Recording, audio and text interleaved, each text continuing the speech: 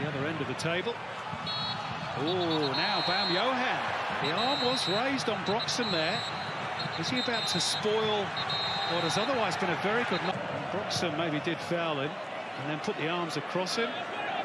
And the German wasn't having any of it and, and threw his opponent off. Certainly contact to the face. Oh, red card. Well, you know what? That's a real pity for Alexander Baumjohann. I'm not saying that he doesn't deserve it. You raise your hands on a football field, you do run that risk. But he's had such a good game, Baumjohann.